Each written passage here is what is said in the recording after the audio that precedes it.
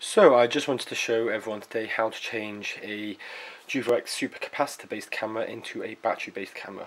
All you're going to need is a screwdriver, the JooVuu X and a battery.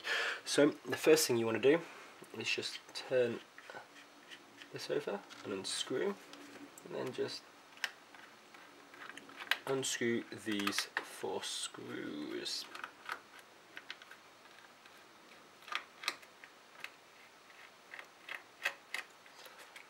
Okay, oh, a few are still attached. Okay, let's put it there. You'll see the capacitor here, and all I simply do is just give it a little wiggle and a little pull, and then that's it, it's out. Now with the battery, and then just plug it right back in. Make sure it fits snugly.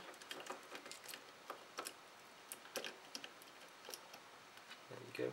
Make sure that it's not covering any holes and then simply screw this right back up and hey presto you have now successfully installed your JooVuu X battery into your JooVuu X. Just to test it, you might want to do this before you screw everything back up. Just turn the power on and it should turn on without um, any power. Hope you enjoyed it.